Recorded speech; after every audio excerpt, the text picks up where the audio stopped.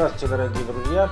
Мы въезжаем на автостраду, которая имеет два названия. Французское название А8 и международное название Е80.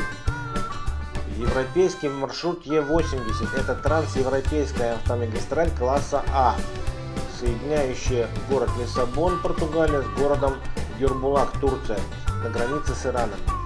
Маршрут проходит через 11 стран и имеет длину 6102 километра.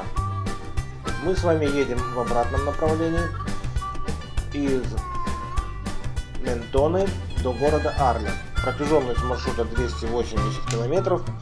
Занимает он в реальном времени около трех часов. На Google картах указано 2 часа 51 минута, на Яндекс картах 3 часа 28 минут. Сколько времени мы затратили в реальности, вы можете узнать, посмотрев на показания даты и времени в правом нижнем углу экрана. Въехали на автостраду в 7 часов 57 минут и доехали до Арля в 11 часов 15 минут. Итого получается 3 часа 20 минут. Правда, мы останавливались на автозаправочной станции для того, чтобы перекусить. Это заняло около 20 минут.